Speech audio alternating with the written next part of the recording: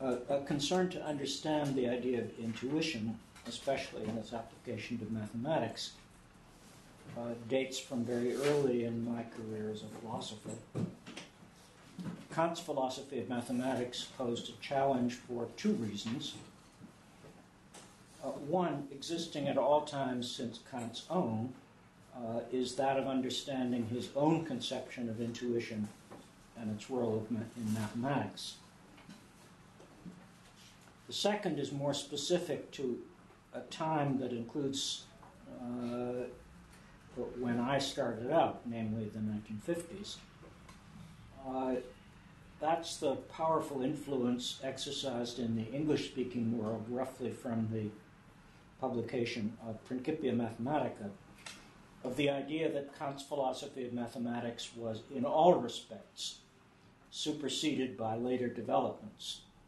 The obvious ones consisting of non Euclidean geometry and its application in physics, uh, but also the and the anti-Kantian gloss with which logicism was pre- presented, in particular by Russell.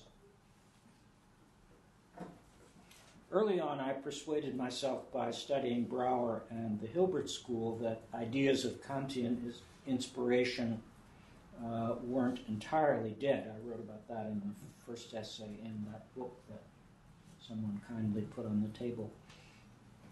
Uh, uh, so, in earlier writings, I developed a conception of mathematical intuition inspired distantly by Kant's, but more directly by ideas of Hilbert and Brouwer. Other conceptions of intuition, more connected with pre Kantian rationalism, uh, have had some currency in more or less recent philosophy. And an instance is Gödel's conception, uh, which is the one that has most occupied me. And I'll use the term rational intuition for uh, conceptions of this general type. Uh, a fuller treatment of the subject should also take in distinctly post Kantian conceptions, uh, especially that of Husserl. Uh, but I'm not going to comment on uh, historical conceptions other than Gödel's. So the first part of the paper will deal with the general idea of intuition and conceptions of rational intuition. And the second part will revisit uh, my own attempt to construct a rather limited uh, notion of mathematical intuition on the uh, model chiefly of Hilbert, but more distantly of Kant, and a little more, in some respects, also uh, Brouwer. Um, although how much it differs from Brouwer's uh, uh, mark can tell you quite a bit. Okay. A basic fact about the use of the word intuition and others translated by it is that even in philosophy it has uses that are not derived from Kant's Anschauung and only tangentially related to it. And most significant in philosophy are probably uses derived from the rationalist tradition, where, roughly speaking, intuitive cognition represents a high form of rational cognition. Uh, in fact, the term intuition has been used in philosophy and in reflection on mathematics uh, in a rather disorderly way. Uh, one thing I've uh, attempted to do in early earlier writings is to bring some order into this use, uh, maybe without persuading anybody that uh, uh, to follow me in this respect. Uh, a starting point was the observation that it doesn't have a pedigree in ordinary usage that would allow us to arrive at a clear notion by analysis, as might be the case with the term knowledge and some others of wide philosophical currency. And it doesn't have the sort of origin as a philosophical term that's a natural reference point, like technical terms like analytic and synthetic. Uh, terms, terms translated as intuition go uh, far enough in the history of philosophy so that one shouldn't expect such a uh, reference point. Uh,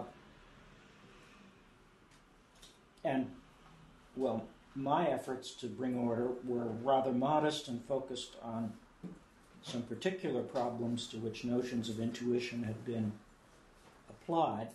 On the one hand, by writers standing in a tradition going back to Kant, and on the other hand, by Gödel, uh, who I think was originally inspired by the rationalist tradition, then reinforced by his late study of Husserl. But evidence has turned up uh, quite recently that uh, Russell's notion of acquaintance might have been an important source as well. A literature that I didn't comment on and had hardly attended to, uh, although uh, it was fairly extensive during the late stages of my work on this book, Mathematical Thought and Its Objects, is the considerable literature on the, the use of what are called intuitions in philosophy. Uh, some writers in this literature seem to proceed as if the term has the sort of pedigree that I denied it. And they proceed to analysis or argument about specific issues without saying, even in a preliminary way, what they're analyzing. Uh, this is an off the, cuff, off the cuff and maybe improper statement, but if you want an example of how not to write an encyclopedia article, I suggest you look up the article on intuition in the otherwise excellent Stanford Encyclopedia of Philosophy, which um, sort of jumps immediately with no preliminaries into this rather recent literature about intuitions and analytic philosophy. Uh, I will say, though, about the contributors to this literature that their focus is entirely on propositional intuition, what I call intuition that, uh, as opposed to intuition of objects, which is what one derives more directly from Kant. Uh, in spite of that focus uh, and the concentration on the role of intuition in the analytic philosophy of more or less recent times, uh, even the authors in this literature who do reflect on the concept of intuition differ considerably in how they understand the term. Uh, thus, in one article, Ernest Sosa characterizes intuition in several different, though related ways, but they're all species of belief. And we'll see in a moment that that, I think, is not his more considered view. But, uh, on the other hand, George Bealer, who's one of the more rationalist writers, uh, denies that having an intuition that P implies believing that P, uh, and in fact, he insists that some intuitions can behave like illusions, in that it's possible for the illusion to persist uh, even if one doesn't have or no longer has the relevant belief. But other writers don't pursue this theme. Uh, furthermore, they don't generally don't adopt the terminology that uh, I recommended in this book that a mode of cognition should not be called intuition unless it's significantly analogous to perception. Uh, that uh, condition was satisfied by the conception of uh, what I call Hilbertian intuition that I developed in chapter 5 of this book. Uh, furthermore, such an analogy was claimed even rather strongly by Gödel uh, about his more purely rational conception of intuition. But looking at conceptions conce- conceptions of intuition in a broader perspective, I now think it wouldn't be right to insist on it. Uh, for example, many of the writers I uh, just alluded to uh, uh, don't claim such a strong analogy uh, of intuition with perception. Uh, so I'm not going to insist on such an analysis, an analogy for a mode of cognition to be legitimately called intuition. Uh, this is, a, of course, a terminological matter. Uh, it's still a substantive issue whether intuition on one or another conception is in fact analogous to perception. Um, you can find a rather, a somewhat, a rather sympathetic tra- treatment of Gödel's views, which rather firmly rejects this analogy in a very admirable paper by uh, Donald Martin, Gödel's conception of conceptual realism in uh, the Bulletin of Symbolic Logic, 10 years back. Uh, however, this suggests uh, another issue that's worth remarking on.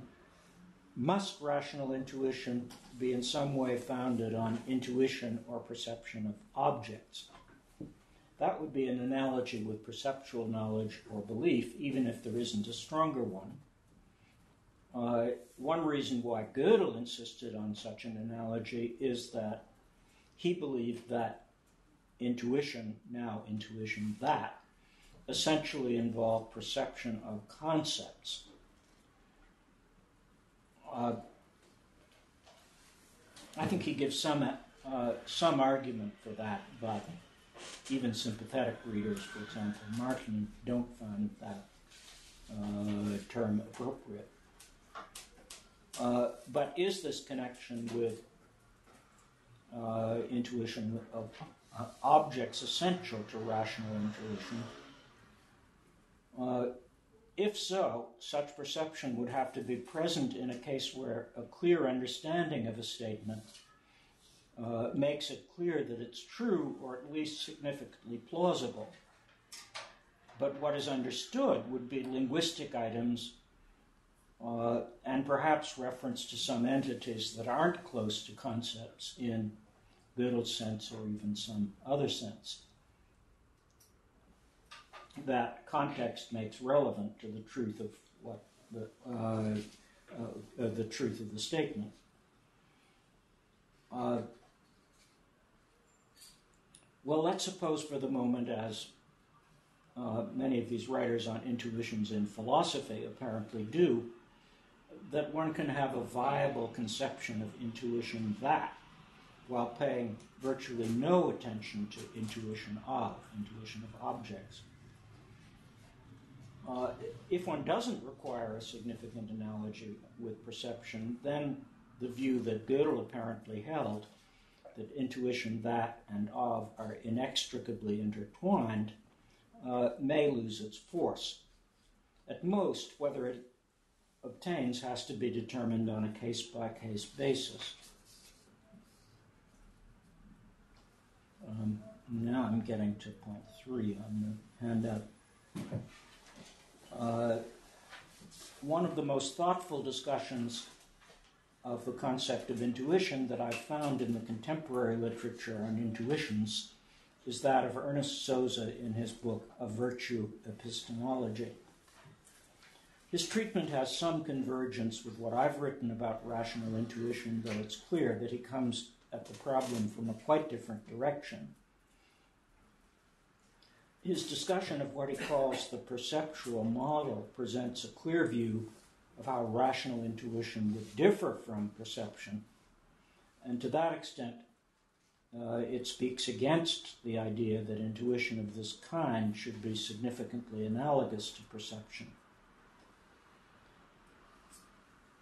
Uh, Sosa's view is precisely that precisely because it is itself not subject to epistemic evaluation, perceptual experience can offer foundational justification, as he calls it, for claims based on it. Uh, this would be contested, if, uh, probably by, for example, writers who follow Donald Dav- Davidson. Uh, what might play this role in rational intuition, whether or not it's in, in the end correct, would be uh, intellectual seemings. That's a term that Sosa uses. Uh, he seems to admit that a similar seeming is present in perceptual judgment. I think that's rather standard. If I see a table in front of me, I have a strong inclination, uh, maybe in the present situation, irresistible inclination, uh, to judge that there is a table in front of me. Uh, Sosa's view, which strikes me as correct, uh, seems to be that that's different from my merely having the vi- visual experience as of uh, a table in front of me, which I might have if I had substantial reason to doubt that there really is. Now, take the case of my seeing in quotation marks that 3 plus 2 is equal to 5. Uh, the element of intellectual seeming is undoubtedly there. When I reflect on this proposition, it seems evident to me. In the axiomatic development of arithmetic, we give a proof, but Sosa's probably right in assuming that its evident character doesn't depend on the sort of proof that's available, which perhaps only logicians and possibly philosophers are interested in.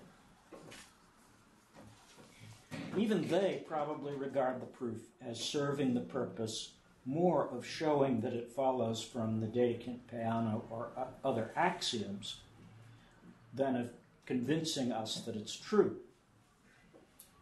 Uh, it seems that the statement acquires its evident character simply from reflecting on it, that is, on what the sentence means. Uh, that would be a sense, perhaps, in which it could be said to be self evident. Um, reflecting on research on the foundations of arithmetic would suggest that there are different ways of understanding what 3 plus 2 equals 5 means.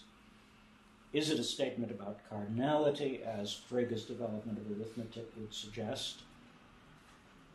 or and as much psychological research on the conception of number in young children seems to presuppose?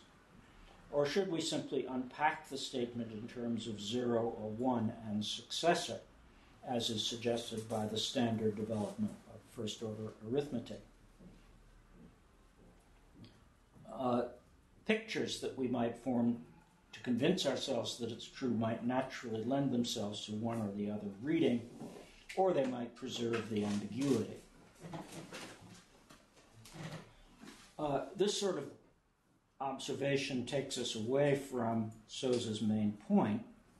That is, that visual experience can be what he calls a basis for a perceptual judgment uh, because it's beyond justification or unjustification. In other words, visual experience is not so to speak, either justified or failed to be justified, or even more or less justified, it just is. Uh, and what's justified are judgments one might make on the basis of it.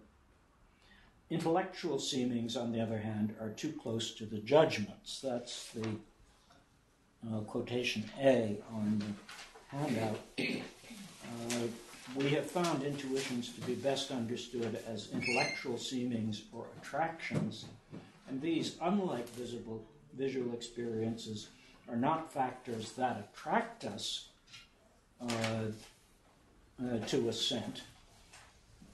They are rather the attractions themselves. Uh, uh, in a terminology I've used, intuition, according to Sosa, is apparent intrinsic plausibility. It's intrinsic because the attraction he mentions is exerted by entertaining the proposition. Uh, but clearly it falls short of belief, although it doesn't involve a possibly strong inclination toward belief. So that's where his uh, this view differs from what he expressed in the other paper of his that I alluded to. Uh, that makes it more in agreement with the uses of others in our own time, including, I would maintain, Gödel. When they consider logic and mathematics, writers on intuition coming from general epistemology seem to confine themselves to the most elementary examples. 3 plus 2 equals 5 is a popular one, maybe because it occurs in Descartes' meditations. Uh, and I haven't found in his writings a less elementary one, but he's written a lot, so I could be wrong that there isn't one in thinking there isn't one there. In other domains, they do consider more complicated cases. Uh, a place where something that can be called intuition seems necessary is counterexamples uh, which have been used in philosophy ever since the dialogues of Plato. Uh, many of the counterexamples from such classics are less subject to challenge uh, than many other intuitions applied in philosophy, no doubt because of their relatively concrete character. They don't necessarily make worries about their objectivity go away. Counterexamples in contemporary philosophy are challenged much more. Maybe we're too uh, deferential toward the greats of the past. Uh, well, later I'm going to consider the application to more complex mathematical cases. Um,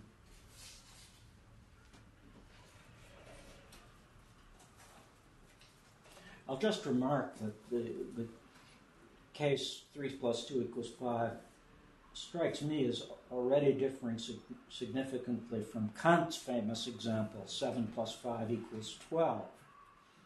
Uh, Kant, I think, would have denied that simply by turning over that proposition in one's mind and trying to understand it as clearly as possible, one would see that it's true. And what he gives in his famous uh, argument in the introduction to the second edition of the critique is a procedure. Uh, and I think the procedure could even be regarded as a kind of proof, although it's quite clear that Kant didn't think of it that way. Uh, in general, the questions about objectivity that arise uh, concern whether uh, the intellectual seemings that are, are, at issue are genuinely rational, or rather re- result from some subtle indoctrination, probably of a specific culture that's very common in discussions of moral questions, or perhaps factors of a quite different nature. Uh, but that sort of question isn't very persuasive in the case of as basic a mathematical statement as 3 plus 2 equals 5. Uh, one reason is presumably that it's part of a much larger pro- practice of ma- arithmetical calculation, uh, going back to the Babylonians even, and then of number theory and algebra, where there's been agreement in results across a very wide range of cultures. Uh, Sosa characterizes a belief as apt if it's true by virtue of a competence of the agent. Uh, replacing truth by some other criterion of success, this characterization applies to other performances involving skill. Uh, you find that in his writings on epistemology, but we needn't be concerned with that. Apt belief is the first stage toward knowledge. Uh, and he calls that animal knowledge. Uh, after some training, the school child presumably possesses animal knowledge of 3 plus 2 equals 5 and some other basic arithmetical identities. Uh, since the results of proof, even in elementary mathematics, can satisfy this criterion, such knowledge isn't necessarily intuitive. Uh, I would presume, though, that for Sosa, an intuition that results in belief that is apt counts as intuitive knowledge. I think he, I haven't, don't recall his using that term. But, uh, the criterion is not obviously of help if we want to determine if an intuition does count as knowledge. Uh, in application to mathematics, there's a risk that it will make mathematical knowledge depend on psychology. Uh, suppose I have a firm intuition to the effect that the axiom of choice is true. Uh, if I test this by asking if this manifests my mathematical competence, the t- test seems on the face of it to be a psychological one. However, appearances might be misleading. Careful reflection on the meaning of the axiom, on applications that have been made of it, on co- consequences in the domain I'm spe- explicitly concerned with, and others that I know about from other domains of mathematics, are the activities I would engage in to determine if my mathematical competence is manifested by my accepting the axioms. These activities consist largely of mathematical and logical reflection. The case is analogous to the often cited one that if I'm asked whether I believe that P for some proposition, the main part of the activity leading to an answer is for me simply to think about the question whether P, whether it's true. Uh, a tempting conclusion to draw from this example, though, is that the axiom is not evident by itself, by rational intuition, but becomes so by being embedded in a theory. Not just set theory uh, by itself, but also other domains of mathematics where it's applied. For example, with the axiom of choice, we can prove that every vector space has a basis, uh, and that there exist sets of real numbers that are not Lebesgue measurable. Uh, I don't think that tells against the very idea that such intuition has uh, epistemic force, uh, but it does indicate, I think, that the intrinsic plausibility of a principle like the axiom of choice is greatly reinforced by its application, um, maybe even more by ones that are important for our understanding of the universe of sets, such as the consequence that cardinals are comparable. Uh, one can infer that when Zermelo introduced it in 1904, the axiom didn't possess the degree of evidence it has today. Uh, That may be an oversimplified way of describing the situation, but it seems to me that it's largely borne, borne out by uh, considering the history of the axiom and its application uh, in mathematics. Um, well, a large question remains. Turn got to now to uh, part, uh, point four. To what extent are axioms of mathematics known by rational intuition? It would be plausible to give an affirmative answer for some principles of arithmetic, such as that every natural number has a successor, uh, and some version of mathematical induction or primitive recursion. Unproblematic axioms in set theory, such as the axiom of pairing, uh, would be candidates. Uh, I've argued the contrary for the cases of the axiom of power set and the axiom schema of replacement in set theory. Uh, that view might not find wide assent, Uh, but it would be wide, would be widely agreed that for stronger axioms of infinity, more direct insight runs out. They have to be justified by the theory that results from them uh, in a manner first memorably described by Gödel, or simply taken as hypotheses. Uh, well, I'm going to go a little further into the question about the arith- arithmetic of natural numbers as based on the Dedekind-Peano axioms. Uh, there is a question about the formulation of induction. Question might be different whether we consider the first order schema, the second order axiom, or the open ended understanding which leaves open what predicates might be allowed in instances of induction. Uh, uh, in the con- constructivists have questioned even the first order version in the context of classical logic. Uh, apart from that, we have to consider that first order arithmetic formalizes a mathematical practice uh, accumulating uh, over time from long before first order logic as such was thought about. Uh, furthermore, although some version of induction expresses a central aspect of our understanding of the concept of natural number, uh, by itself it doesn't assure, ensure that the concept is, incons- the understanding that is, that the concept is consistent or coherent.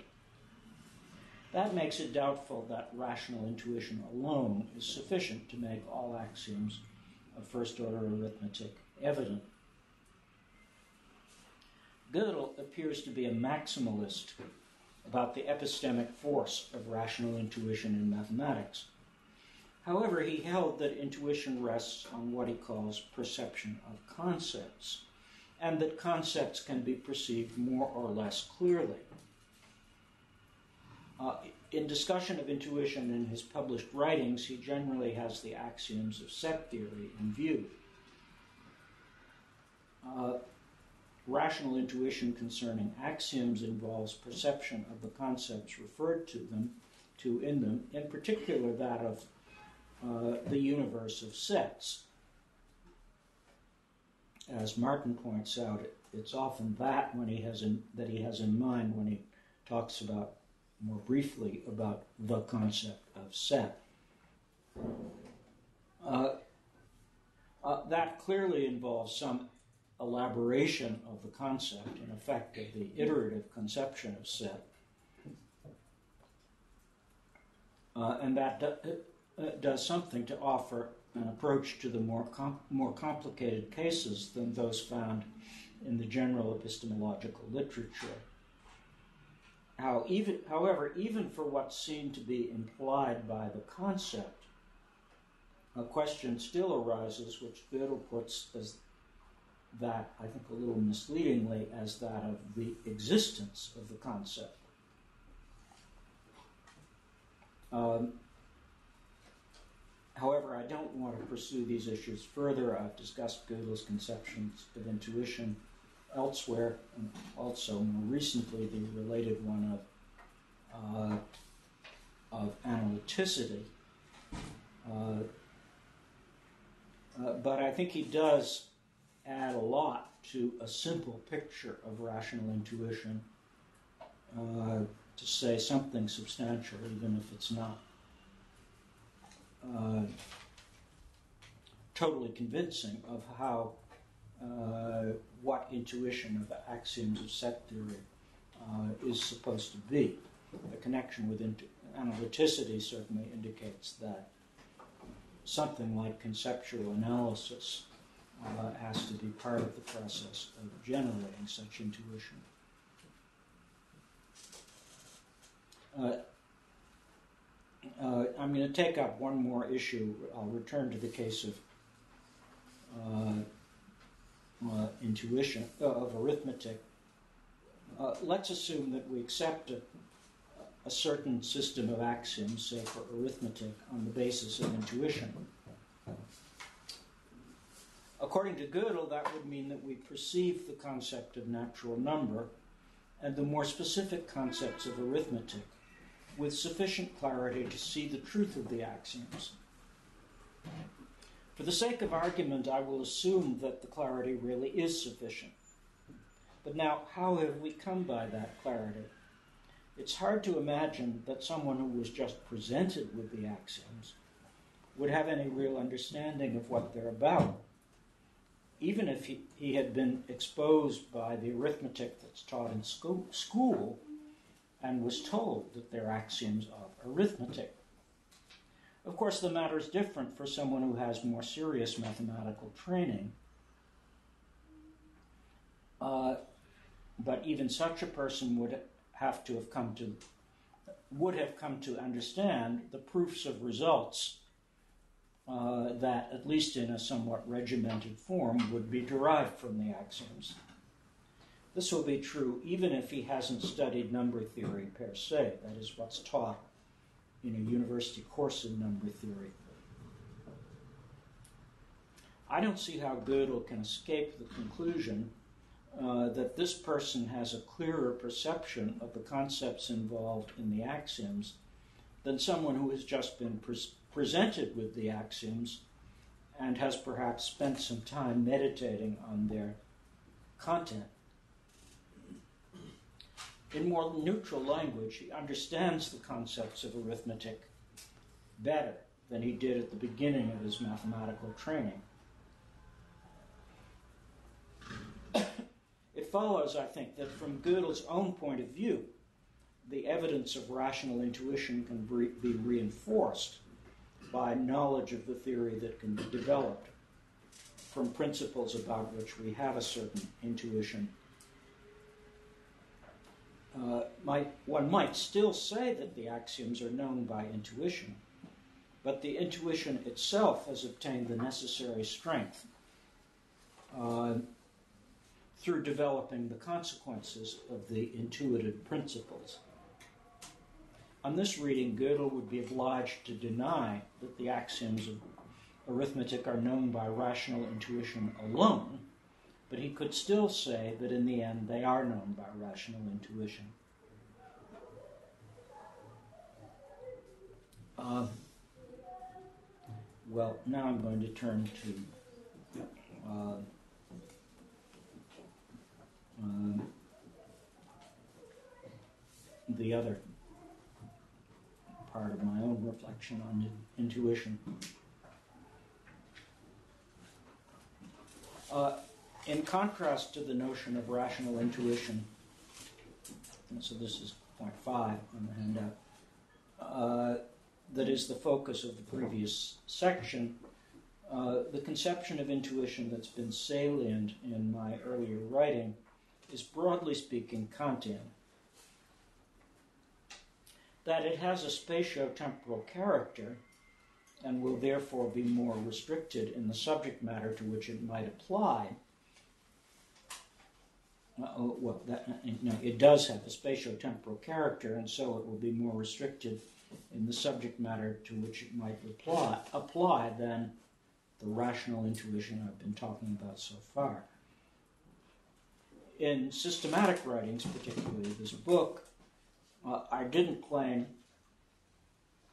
that the conception of intuition with which I work was actually Kant's. Furthermore, I don't propose to revisit here the question how Kant himself understood and used his own term, Anschauung. Not only do I not have anything new to say about it, uh, it would distract from the systematic aim of my writing on intuition in re- relation to arithmetic. Uh, in view of the fact that the conception of intuition that's developed in chapter, uh, first of all, chapter five of Mathematical Thought and Its Objects, owed its primary into inspiration to Hilbert, but also some to Brouwer, both of whom invoke Kant in relevant places in their writings my conception can claim to be a distant descendant of Kant's, but I don't see any reason to claim more than that. Uh,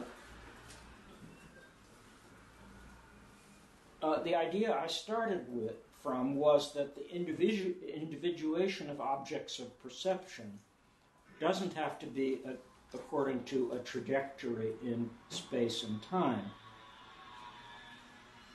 It can rest on what, at least in this, many of the simplest cases, would be called sameness of form which can be instantiated at discontinuous and possibly quite distant places and times.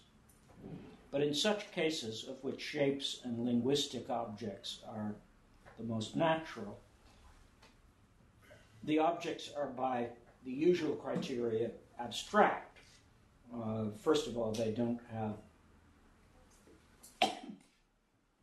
uh, a definite, uh, definite location. Uh, and I don't think it's natural to uh, think of them as entering into causal relations. Um, uh, uh, an example that I offered uh, is that that of someone A uttering words in such a way as to anger another person B. It's natural to say that it's not the words themselves that cause B's anger, but A's utterance, but that's an event in time. Um, a good kind of case to think of is an ethnic slur, and suppose that is what A uttered. Uh, could one say that the slur itself caused B's anger? Uh, I don't think so. I think it was A's utterance of it that uh, caused it. One might imagine that B is a theorist who thinks about ethnic slurs, so they're in his consciousness all the time, but then A comes along and applies it to him. Uh, well, the general idea that there's some something like perception of some kinds of quasi-concrete abs- objects that count by uh, the criterion I've been using as abstract hasn't given rise to serious controversy. By a quasi-concrete object, I mean one that has a more or less intrinsic representation in uh, the realm of the concrete, as a, a linguistic type is typically uh, represented by physical tokens.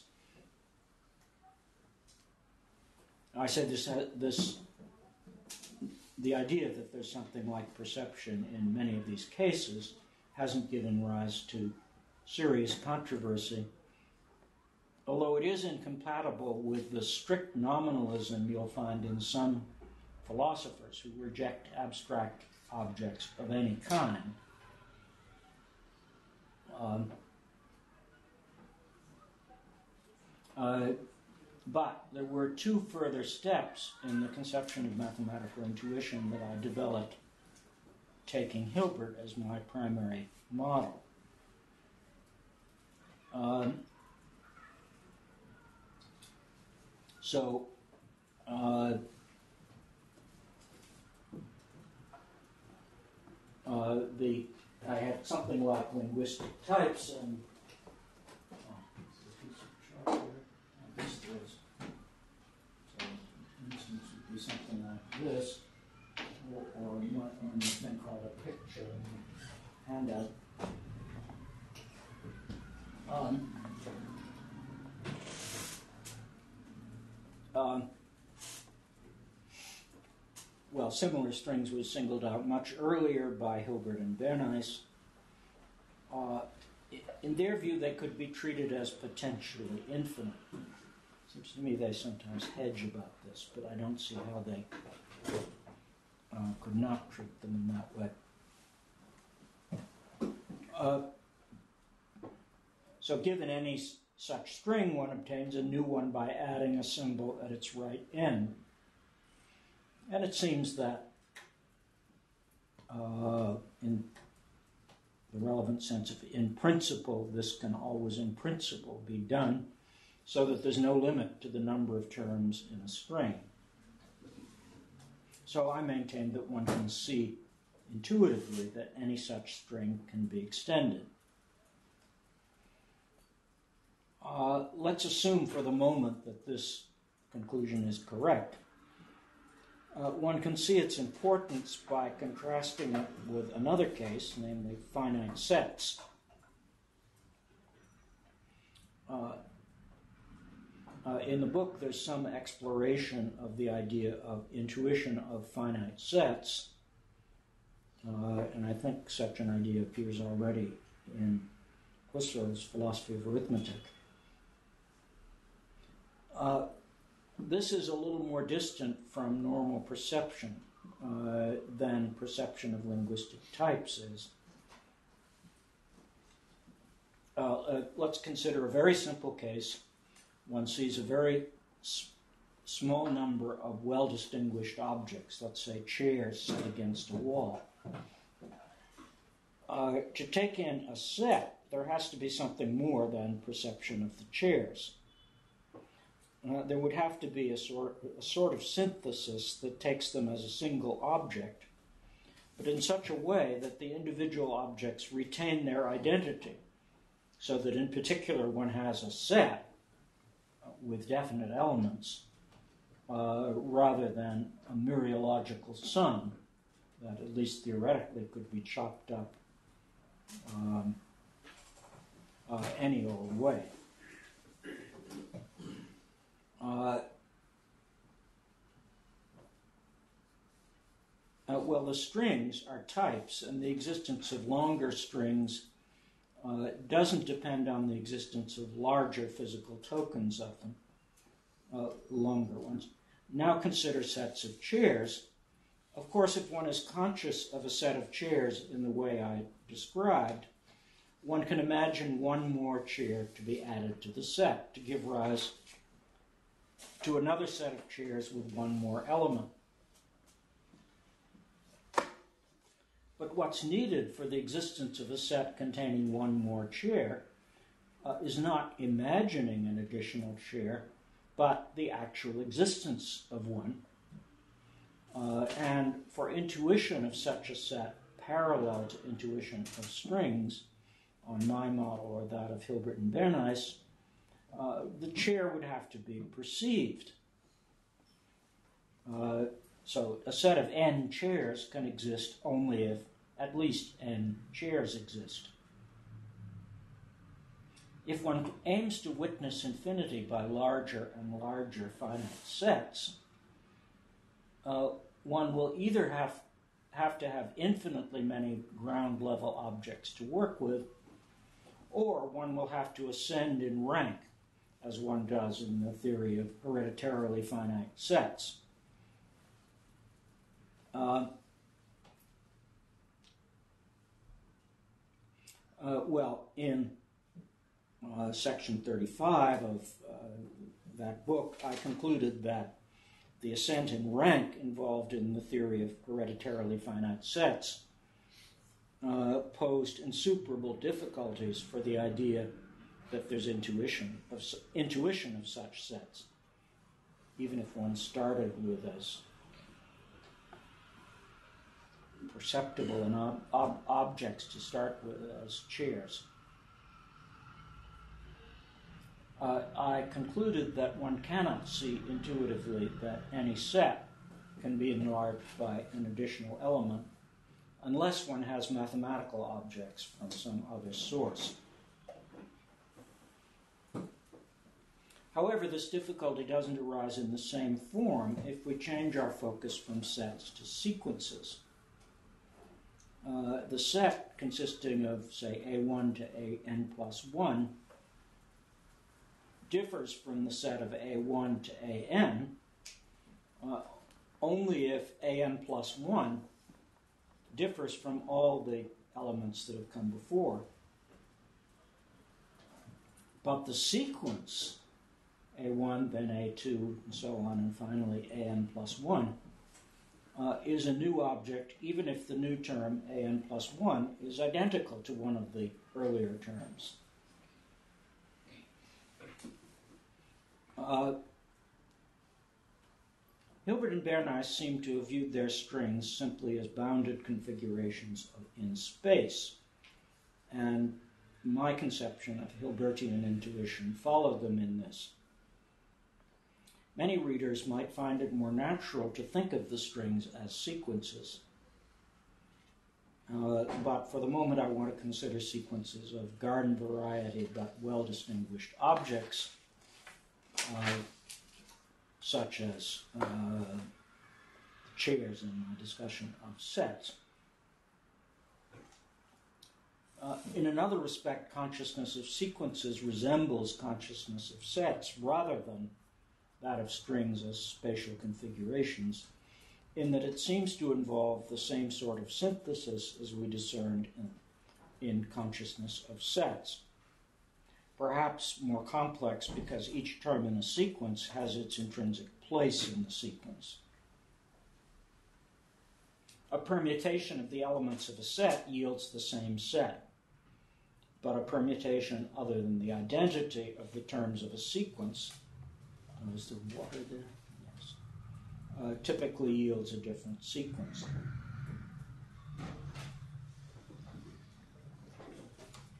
Uh, for this reason, my conception of Hilbertian, if my conception is modified so that the strings are thought of as, oh, it's gotten late, hasn't it? And I haven't even got to the punch the punch line. Well, I think we, we, have, we have plenty of time. So You have to allow me to um, uh, go over normal time. Uh, uh, if my conception is modified so that we think of the strings as sequences, the phenomenological argument that I gave to the effect that every string can be extended doesn't work quite as it was supposed to in that work. Uh, I claimed that it didn't depend on the knowledge that a string had been generated by success, successive appendings of an individual stroke and wasn't an inductive conclusion. Uh, but if we add an additional term to a sequence, the original sequence doesn't play a role that could have been played by any bounded spatial configuration. Uh, uh, although we might think of the sequence as spatial, that's not obviously essential. Well, the conception of strings as spatial configurations led to a sharp criticism that was levied by Felix Mühlhölzer uh, in a review article on mathematical thought and its objects published in uh, the journal Erkenntnis five years back. Uh, he seems to agree with my claim that there is something like a perception of such objects as strings. He even seems prepared to talk of perception quite literally in this case. Uh, his dissent concerns the claim that these objects are mathematical objects uh, and can make up uh, what I called an intuitive model of arithmetic. Probably the strongest objection concerns an issue that uh, I myself raised. In order to be mathematical objects, strings as types have to be sharply defined but the relation of tokens being of the same type uh, is bound to be vague.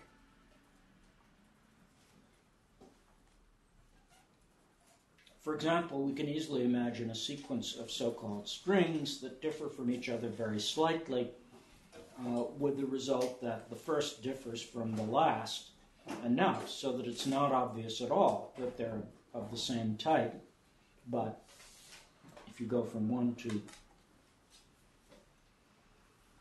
the next, it's maybe natural to say that they are. Uh, that's expressed by the picture at the bottom of the first page of the uh, handout, although that's maybe oversimplified. Uh, to really make the point in a convincing way, one would have to have a much longer list. To, um, well, uh, what Mühlhölzer questions is the claim that this vagueness about sameness of type as applied to tokens need not lead to vagueness about identity of the types themselves. Um, uh, he finds uh, unconvincing the suggestion I made. Uh, brief, briefly, that is that the potential vagueness of identity of types uh, can be, uh, as I put it, shunted off to vagueness about the identity of tokens and the relation token little a is of type big A. Uh, so, uh, take consider say the first and the last on the list on the handout, or maybe the better perhaps the first and the third. So the first one is clearly a a, a, string of four strokes. The third is maybe a borderline case. Uh,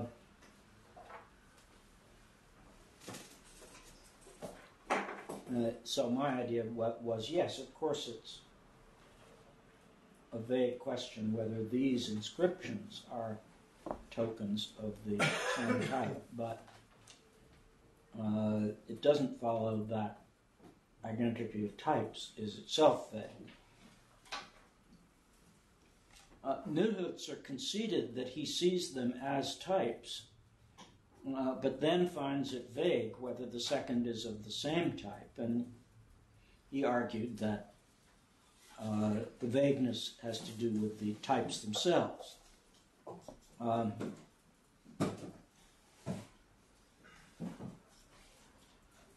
um, I don't think this is helped by uh, a general uh, claim I made about this sort of intuition is that would bring to uh, one's perception the uh, relevant concept that determines the type types.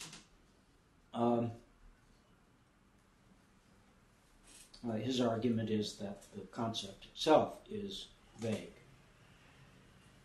Um,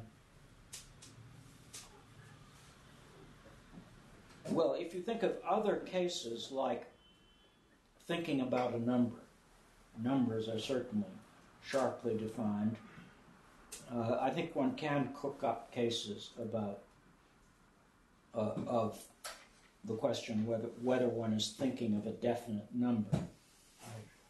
I imagined a situation where one gradually wakes up and tries to waken oneself up by thinking of numbers maybe if you start, you're not really thinking of a number at all. Uh, but after a while, you are. And where exactly do you get there? Uh, skip that. Uh,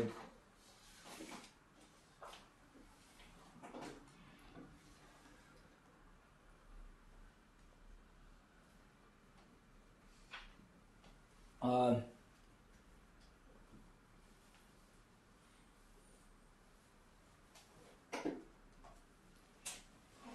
anyway, it seems that I'm caught between two uncomfortable positions.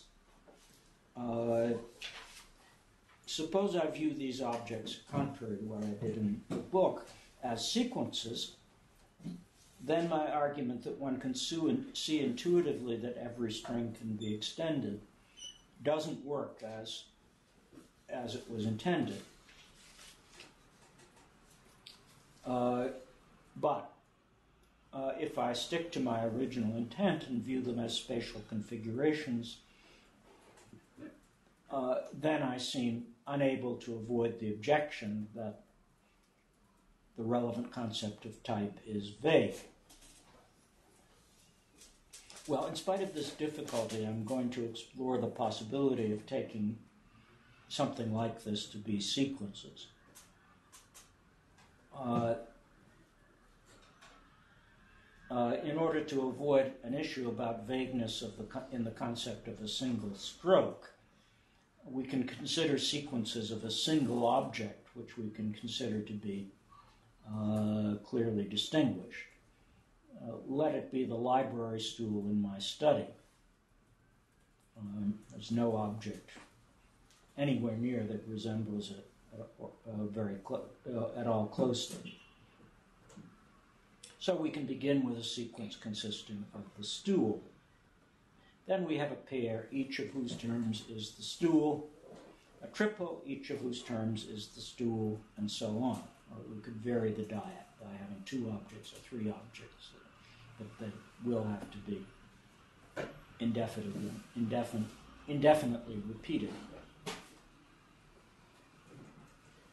Uh, well, here I'm following the what in the book I call the sequences as tuples uh, uh, conception. So uh, you get longer and longer sequences by uh, continuing the process of forming uh, tuples where each instance of that involves maybe nothing bigger than a pair, or at least some small bounded uh, number of terms. Uh, so we do arrive at a potentially infinite sequence, uh, and we don't have the difficulty that arose in the case of sets of needing a new actual object every time.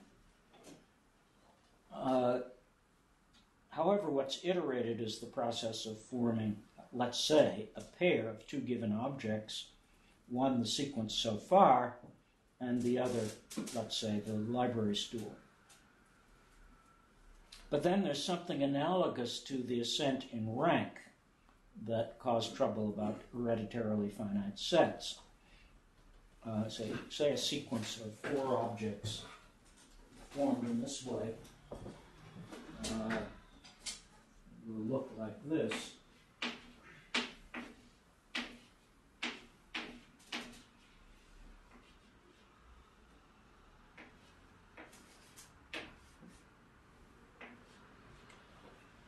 So you get, uh, particularly if it gets large, you get a piling up of brackets. Uh, now, are the brackets intuited or not? Uh, it's they who impose that impose the order of the objects and uh, distinguish what we're talking about from a set of the same objects. Uh, if we give a negative answer, has intuition really given us the sequence as such? Uh, on the other hand, uh, a positive answer opens the door to issues about vagueness like those raised by Mühlhölzer. Uh, it would seem that the alternative sequences as functions conception isn't of any help uh, because it presupposes that we already have a potential inf- infinity of what I call numbers, uh, counters. If you already have numbers, they, they typically serve as counters, as marking the place uh, in a sequence. Uh, at this point, I suggest that we take a cue from Brouwer and introduce time and our consciousness of its passage. I should have put on the handout of uh, one of his descriptions, uh, but I can read one. Intuitionist mathematics is essentially a, is an essentially languageless activity of the mind having its origin in the perception of a move of time, that is, the follow, falling apart of a life moment into two distinct things, one of which gives way to the other but is retained by memory. If the twoity thus born is divested of all quality, there remains the empty form of the common substratum of all twoities. It's this common substratum, the empty form, which is the basic intuition of mathematics. That's from Brouwer's South African paper, but uh, there are many other similar formulations. Uh,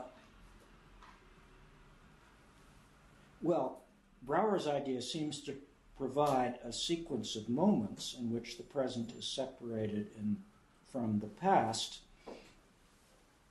Uh,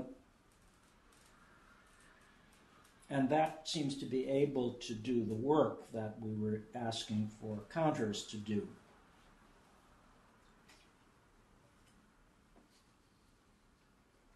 Well, our intuition of the structure of time has it that there's always a further moment, even though our individual temporal experience will end at some point. Uh, if we do demand a correlation of each moment that's singled out with an external object, we don't need an, inf- an infinity of such objects, since, as I uh, noted before, objects can be repeated. It seems evident that this process can, in the sort of mathematical way in which can, the word can is used, can be iterated indefinitely. Uh, but a response is needed at this point to an obvious question uh, whether this modification of the ideas about intuition uh, can meet the Mühlhölzer objection about vague, vagueness. We naturally think of the flow of time, even in our subjective experience, as continuous. And of course, Brouwer himself makes use of that idea in claiming that the original intuition of mathematics also offers a basis for the idea of the continuum and therefore of intuitionistic analysis. Uh, but I'll assume that the perception of a move of time is something conscious and explicit. And since it will take at least a minimum amount of time successive, such perceptions will be discrete uh, even though they are sort of lifted out of a continuous time. Uh, I, we could repeat Mühlhölzer's scenario in the present time, uh, setting. Uh, for each n up to a certain point, say 10, let's suppose that the subject notes the division of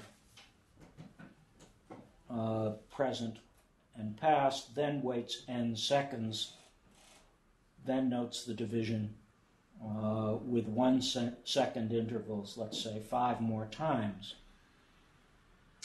Uh, it might seem uh, natural that to read the case where n equals 10 uh, uh, is uh, as one in which there's such a division, followed 10 seconds later by a sequence of five divisions. Uh, if n equals 1, it seems clear that we have a sequence of six divisions. But at some intermediate point, if not n equal 5, then maybe n equal 3 or 4, it may not be clear uh, what to say. Uh, I didn't raise such a difficulty in talking about consciousness of finite sets.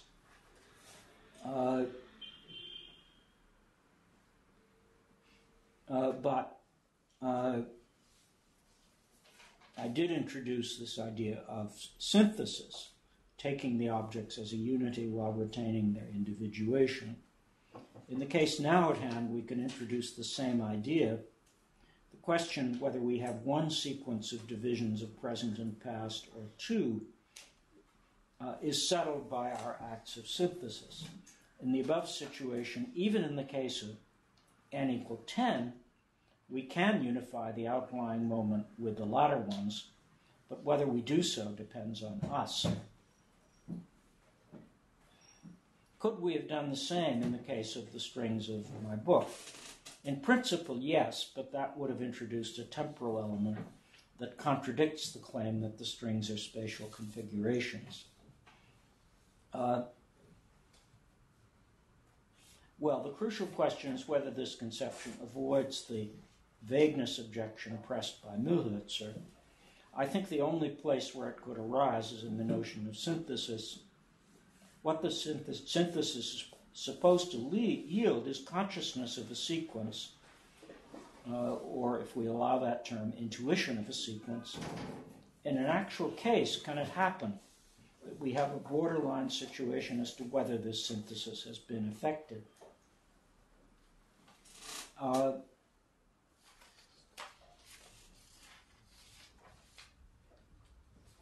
uh,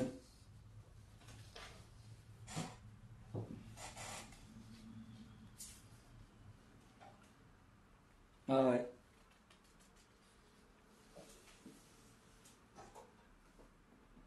I'm not very sure about that, but uh, I, I think it can be argued that vagueness in the concept of synthesis, if uh, it does exist, uh, leads not to vagueness in the concept of set or sequence, but vagueness in the concept of intuiting such an object.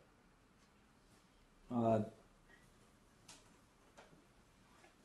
uh,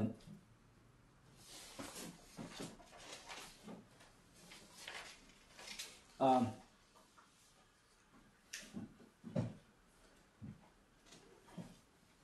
now, how about the argument to the effect that a string of the sort that I discussed earlier can be extended by one more?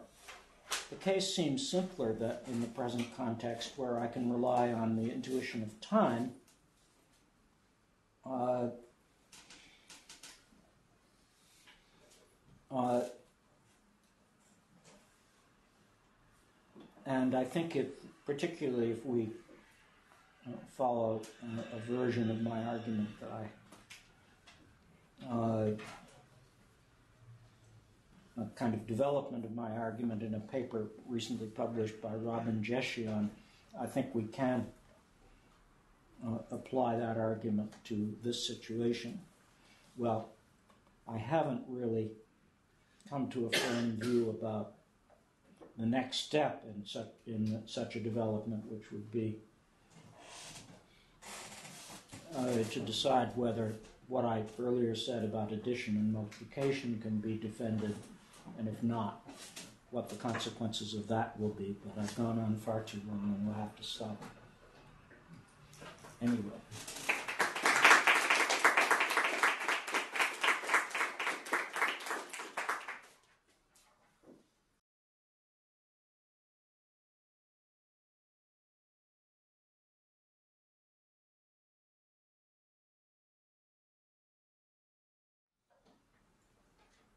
Yes, Mark. Uh, Just a question for, for reference. Uh, at the end, you mentioned a paper by Robin who? Robin Jeshion. Yes, right. How does it spell? Uh, I'll, I'll write the name down. Uh,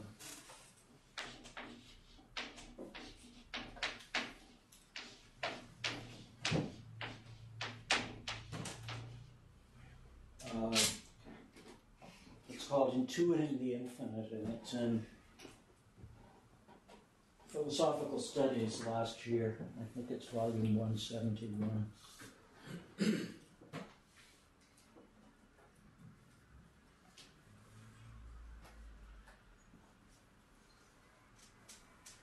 It's a more thorough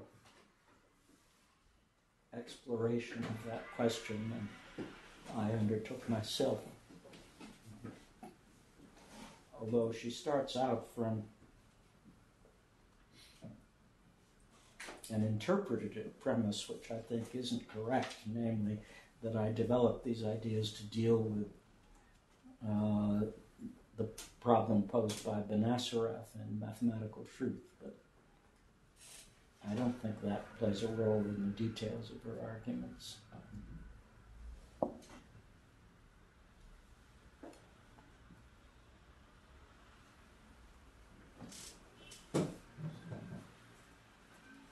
Why not? Question. Um, respect to the problem that you lay out, the intuition of a finite set, seems there's two moments. There's the intuition of the multiplicity or the multitude of the discrete elements composing the set. And then there's the intuition of their unity. Is that fair to say how you're laying that out? The latter, you appealing to synthesis? That's what I call synthesis, yeah. Yeah. Is there an intuitive issue of the apprehending of both together, or the intuiting of both together, namely the unity and the multiplicity. So it seems to natural reason they're sort of opposed, if not contradictory, and yet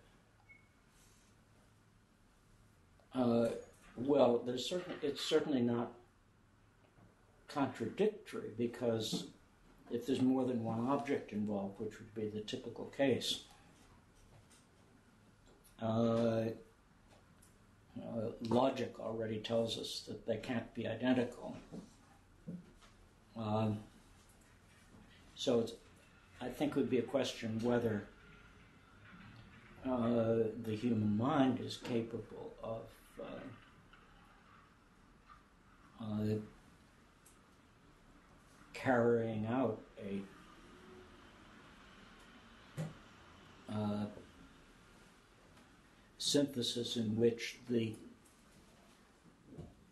uh, individuality of the objects uh, in, that are the elements of the set uh, uh, is maintained. Uh, there's no doubt at all that we can do this on an intellectual level. If we couldn't, there'd be no such thing as set theory, not even the basics of set theory. Uh, the question is whether we can do this, so to speak, only one small step above above ordinary perception. Uh,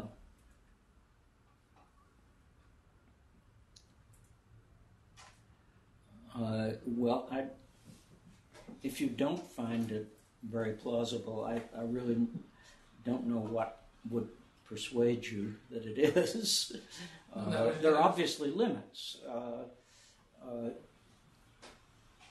uh, even, uh, you know, I think believe Husserl c- claimed that there was some very small limit to uh, the numbers uh, that one, uh, that one really has a uh, the, the kind of basic uh, cognition that uh, and I can't uh, according to the standard that uh, was suggested by what I've said uh, intuit the set consisting of the people in this room, although it's not a very large number by uh, uh, compared to the population of Paris, it's tiny. Uh,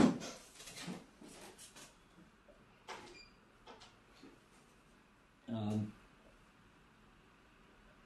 but I, I don't feel any difficulty about uh, very small numbers like three or four.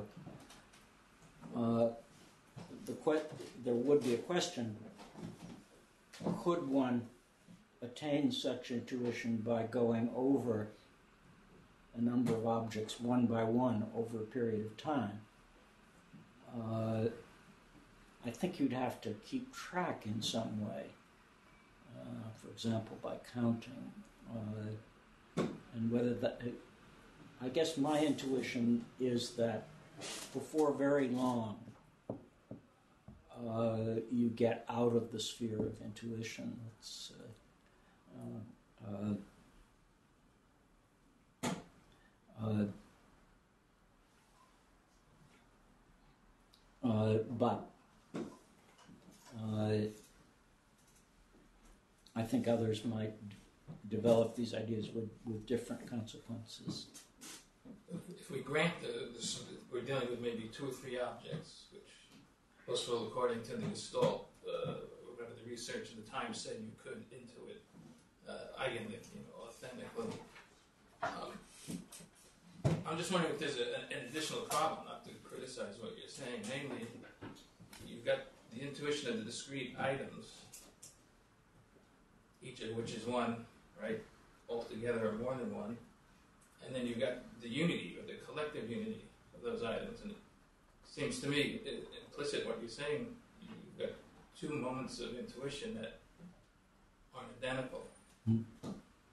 So the logical way out may not work because you've got two different kinds of unity. You've got the unity of the discrete manifold of units, and then you have the collective unity. Yeah, but doesn't doesn't something like that uh, uh,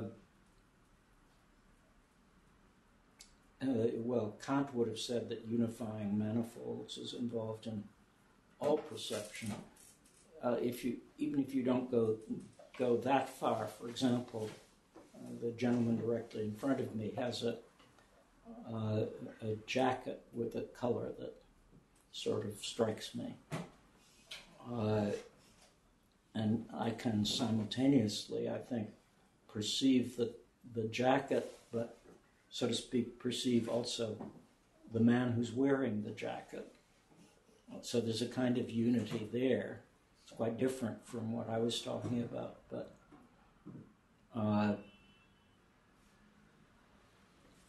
it it still involves uh, two different things. Um, and in some sense, in that case, I think it's just implicit in ordinary perception. Might, so to speak, give my attention to uh, uh, to the jacket. Um, I think the set case, I think, is more artificial. Uh, that I think maybe is shown by history the difficulty of clearly distinguishing between sets and mereological sums and uh, possibly other kinds of objects that uh, uh, that could be relevant.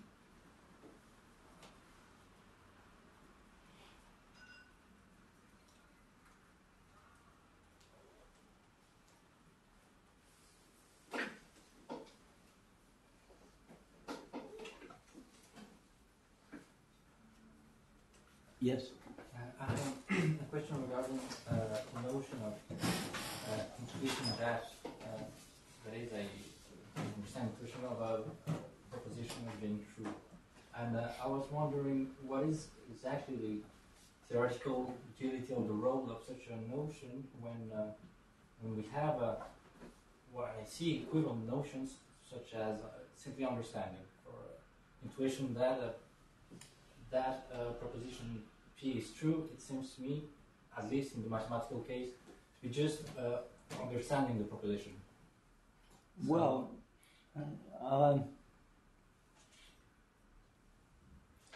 suppose I'd never heard of Gold, uh, Goldbach's conjecture, uh, and someone stated it to me. Uh, it doesn't really take much mathematical knowledge at all to understand Goldbach's conjecture in the sense of so to speak, knowing pretty clearly what the conjecture says. Uh, but that doesn't get one anywhere toward uh, determining whether it's true. Yeah, So I think there has to be a, uh, a considerable difference between simply understanding a proposition and uh, having insight to its truth. Now, the easiest case of what I call rational intuition uh, would be one where understanding uh, is enough to have insight into its truth, but uh, nothing of any complexity in mathematics would would satisfy that condition. Maybe three plus two equals five does, but um, I I was in effect suggesting that already seven plus five equals twelve doesn't satisfy it.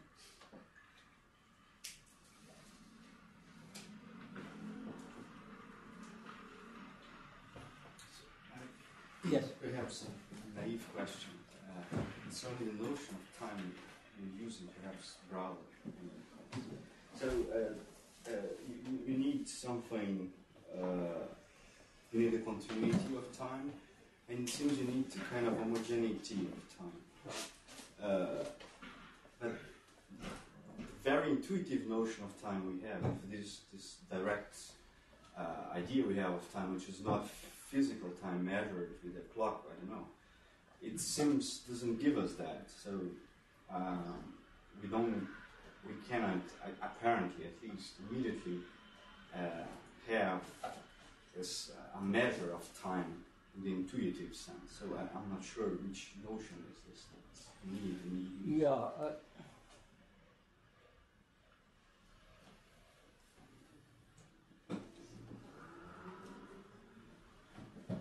yeah, now, being able to measure time, course, I think involves making a connection of the passage of time with uh, physical processes. That's how how all clocks work, even uh, even the most simple ones.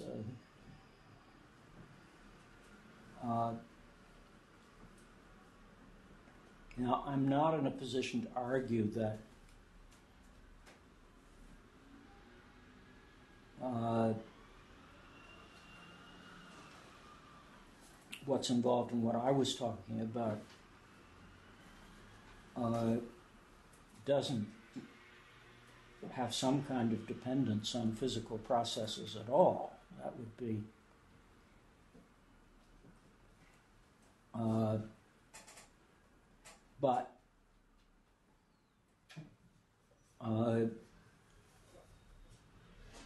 at least on the face of it, it doesn't seem to involve explicitly attending to or developing theories about physical processes. Maybe I can be shown to be wrong about that, but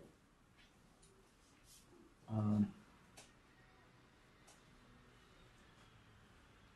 so, you know, you talked about the homogeneity of time. Uh, I think probably Kant's conception of pure intuition, at least in the case of space, and I don't see any reason to doubt that would also be true of the uh, case of time, uh, did somehow carry homogeneity with it. Uh, to what extent that's true, Brouwer's conception, Mark would be much better, in a much better position to speak than I would be. Um, um,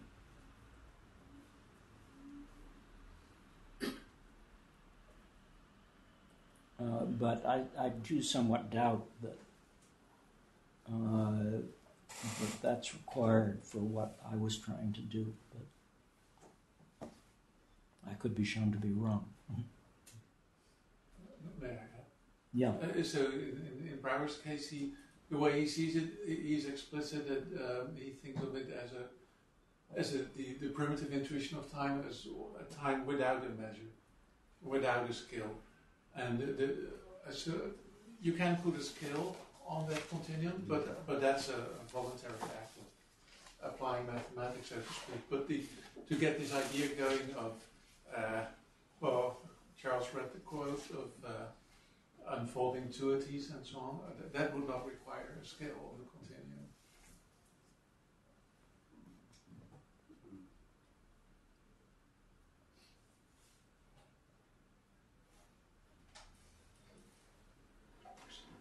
I have a, a, question of understanding. Wh- Why, what you, you want to make with the distinction between the case where 3 plus 2 equals 5 and the case of 5 plus 7 equals 12?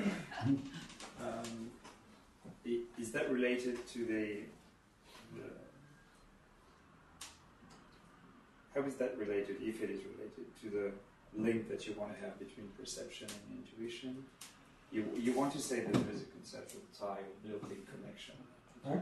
You, you want to say that there is some conceptual tie or built-in link, as it were, between perception and intuition. Well, in general, I did. Not that they're the same thing, but you want to say. Uh, In general, I didn't say that. I, I did. I think um, uh, the kind of conception of intuition sort of distantly related to Kant's, Mhm. I, I would say there is such a connection. Uh, how does that emerge in the case of 7 plus 5 equals 12? Uh, in uh, Kant's treatment of it, uh, he says to get start with seven and seven to five, I have to choose some instance. He says either the fingers on of my hand or or five points. Now, if the if you if the fingers of his hand are, are the relevant instance, then perception is right there. Five points is somewhat more uh, abstract, or comes from, from geometry, and I think he'd probably be invoking his theory of spatial intuition. Um, uh,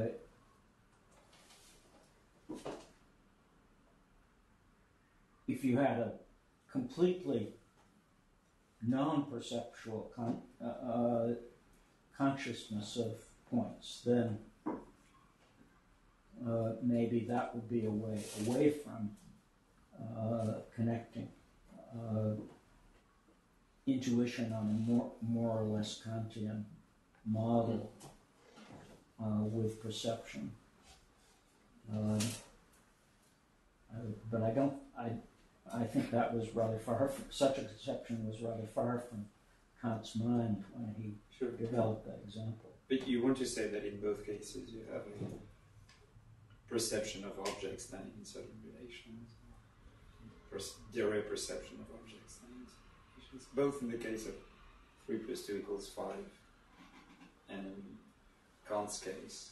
Yeah, well, in the case of 3 plus 2 equals 5, I was at least willing to grant, uh, for the sake of argument, that you didn't need to go through a procedure like Kant's to see that it's true. Uh,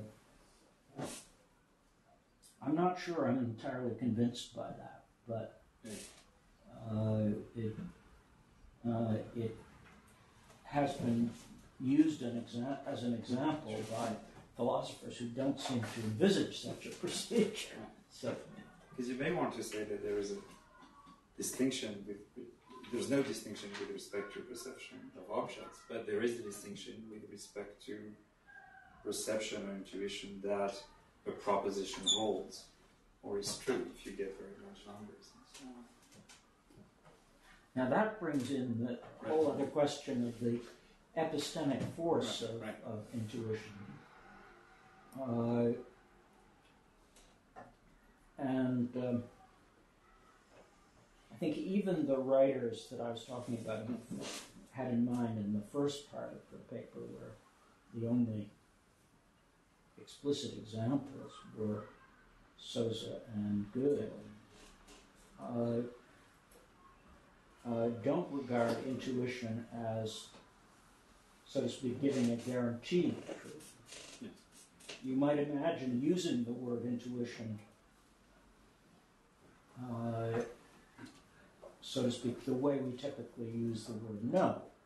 Uh, that is, if it's not true, you didn't know it. Likewise, uh, if the axiom, uh, if some set theory that, that set theoretic axiom that Gödel uh, would say has intuition of, it, you could have the usage that if it turns out to lead to a contradiction, then what you thought was an intuition wasn't really an intuition.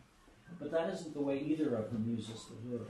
Uh, I think Descartes uh, did use the word that way, although almost certainly people in this room know more about Descartes than I do.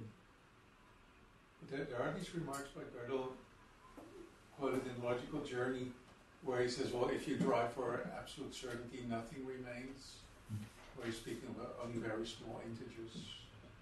Now, I, I don't recall enough of the context, but that would be worth looking at. Hmm.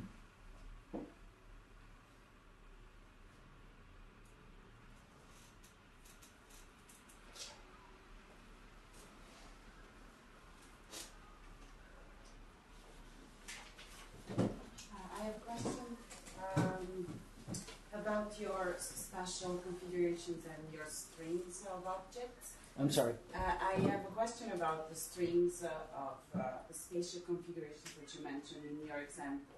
Yeah. Um, because that reminded me of uh, a task that Piaget was given to children, which is the conservation task, in order to understand if they uh, got uh, arithmetic, the basic uh, concepts of arithmetic by counting. Basically, it was given to the to the children uh, like small discs, and then it was spreading them out and asking the children if uh, they were the same number or not. Hmm. And basically, what Piaget is saying is that it is only when they have developed something like the notion of one-to-one correspondences that they are able to to to respond correctly, to reply correctly, and say that in fact, even if the objects have been spread out, they are still in the same number. And so, thinking about this case in Piaget, I was thinking, I was, I wanted to ask why, in your case, we can just think of this string of spatial configurations to be the same uh, once we can find uh, and show that there is one-to-one correspondences between the spatial elements of each sequences, and uh, why that would that would not be enough to to explain why they are the same, even if uh, even if we have a long list and one of it is uh, spread out. Yeah, now that. Um,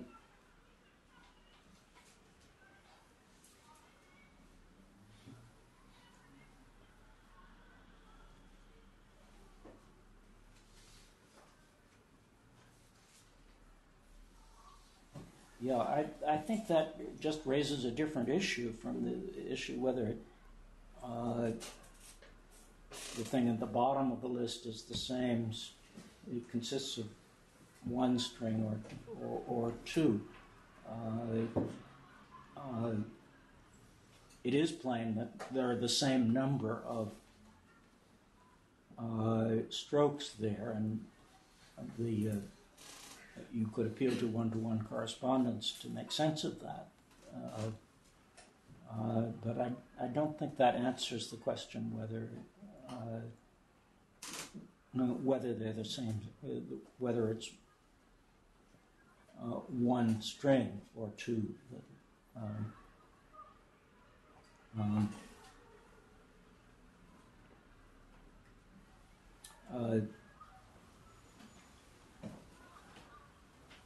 take it as an analogy. Suppose you had a compound word that uh, so to speak, was sometimes printed as one word uh, and sometimes printed as two words. Um, for example, uh, the telephone company that serves New Hampshire and Vermont, uh, which I have some um, get service from actually, is called FairPoint Communications. Well, is that word fair point or is it Fairpoint? The company itself uh, fudges the issue by uh, uh, by printing it uh, this way. Uh, I didn't do it quite right. There should no space. In other words, they capitalize the word point. So the result is that you have a kind of perceptual ambiguity. And according to one uh, convention about spelling, it's two words, and according to another convention, it's just one. Um, that's a case of ambiguity rather than vagueness, I would I would say. So it's rather different from the ones that. Uh, uh, but you could imagine vagueness where there was a just much less than the conventional one-letter space between the two. Uh, and uh, then I think the way you usually ans- answer it would be to make a judgment about the intentions of whoever wrote it as to whether it was intended to be one word or two. Uh,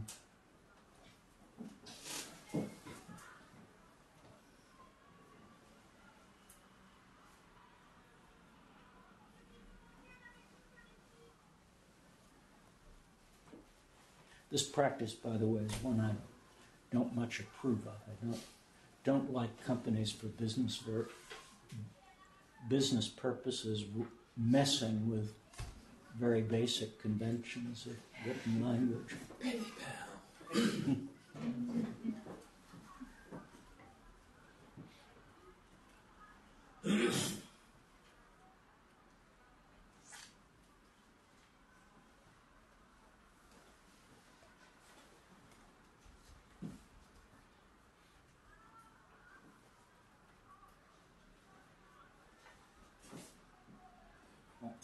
More questions